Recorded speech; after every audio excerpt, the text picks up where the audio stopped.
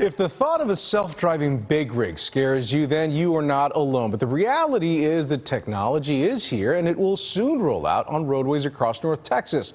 A local company testing these robo trucks tells our JD Miles they're safe and will hopefully reduce the price that you pay for goods.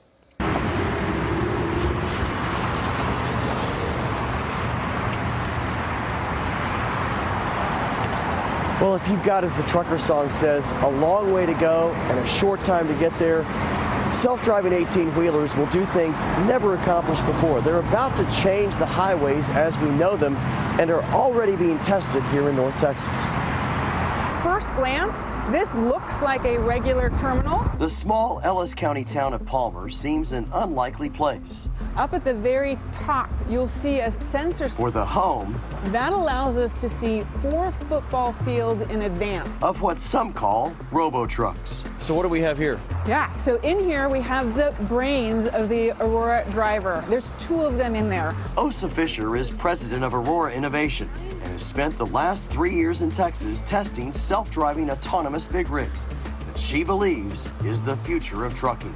I believe the world was born ready for a truck like this. A truck that has 25 cameras and sensors that are calibrated every time they roll out, along with four powerful antennas. Think about them as supercharged cell towers. Excited to uh, give this a try. Yes, sir. Right. We were allowed to ride on one of Aurora's test drives with two operators whose only job is to make sure the self-driving truck does its job. All right, we got a box truck coming up inside left lane. The licensed driver who is ready to grab the wheel says he has never had to during his test drives.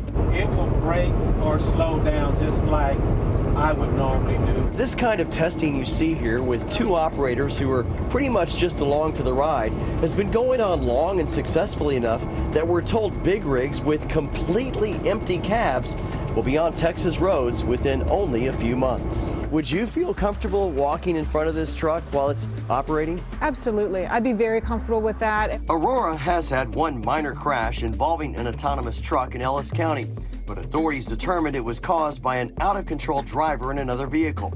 This video provided by the company shows a big rig successfully stopping for an unexpected pedestrian.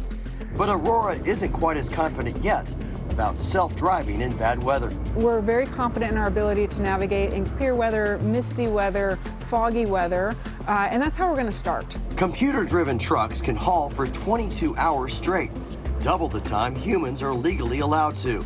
The reduced cost of shipping from that and no paid driver could lower prices consumers pay for things transported on the ground. But Foster, who has a commercial driver's license herself, knows building public trust in the technology will be essential to making this idea successful. To be honest, I trust the Aurora driver more than I trust myself behind the truck of an 18-wheeler. Now, you may be wondering who regulates these autonomous vehicles. We've learned that it's really basically three state agencies the state legislature, the Texas Department of Transportation, and the Department of Public Safety. We are told that Aurora is uh, very candid with them and meets all of their safety mandates and tries to be transparent in their testing. Yeah, that's good to know that they're checking in with all those agencies, uh, answering all the questions that they may have. JD, we do have another question though, that I wanted to ask you while we have you here. What happens to these trucks if they break down, maybe if they get a flat tire? How is all of that handled if there isn't a driver on board?